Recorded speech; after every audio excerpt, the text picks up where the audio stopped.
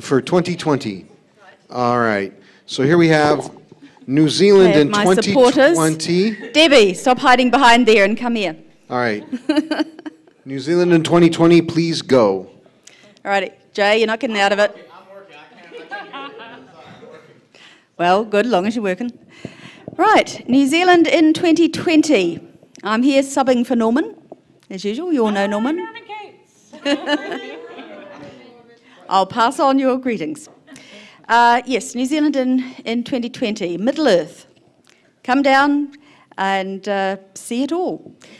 Uh, at the moment, we're still deciding between Wellington and Auckland as venues. It really depends on who gives us the best deal. Now, me, if the uh, I was looking at it, trying to look at it from point of view of somebody coming to New Zealand and how would you get the best bang for your buck.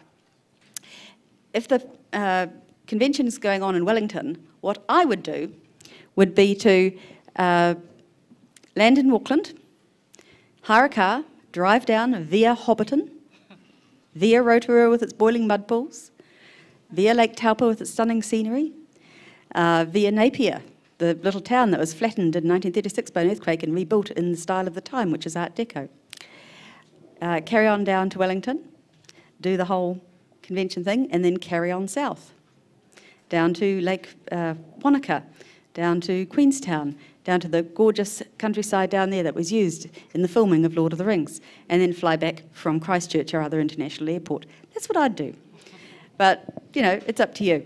So there's many options. You can hire a car from Auckland, you can fly, it's less than an hour's hop from Auckland to Wellington by air, or you could take the train. We have a lovely scenic uh, train which uh, winds its way down, um, including a, a, very clever spiral, which actually, uh, because the elevation goes from out here to there very steeply, and they actually cut a spiral into, into the side for the train. It's one of the engineering wonders. Yes, so come on down to New Zealand 2020. We do have a lot of um, people helping us out here. We know we can't do it alone, so we've got a lot of very good people behind us and helping us and advising us and telling us to pull our socks up and, and do it right. Uh, yes, we have people on the ground as well. Um, if anyone wants to ask, uh, how are we reaching out to people uh, in our uh, fandom community in New Zealand. We are doing a lot of outreach to groups, especially through Facebook, that sort of thing, uh, to these little groups. And basically, the response has been very similar to how the Romans responded when I contacted them.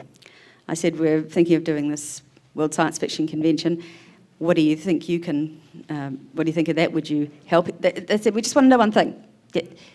Can you get us a photo op with all the Romans in full regalia with a Dalek? I All said, right. yes. He said, we're in. We're at time. Thank you.